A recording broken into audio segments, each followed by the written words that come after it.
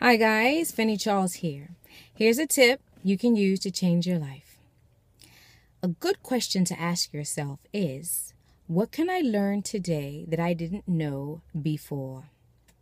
That is a very powerful concept because that means that in doing so, you will keep your mind sharp and alert.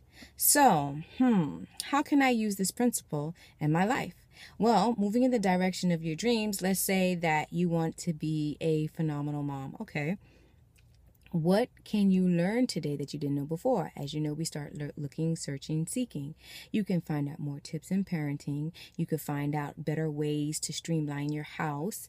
You can find better ways to encourage your children to move ahead in life. There's so many things that you can look for to learn that you did not know before.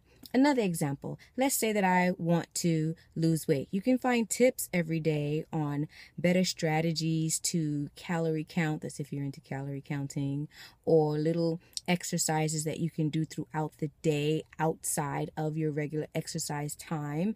You can look for different strategies or different concepts in under the theme of losing weight. Now, if you are starting your own business or in business for yourself, you can look for new strategies and tips on all the tools you can use within a business, marketing ideas, conceptual ideas through books. You always hear me mention books and reading and audios and stuff like that.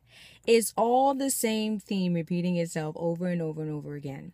But when you apply this to your life, looking for something to learn every day that you did not know before, you sharpen your mind, you season your mind, you condition it towards the life of your dreams.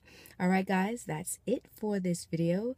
In finding value, please like and comment below and share. I appreciate it greatly.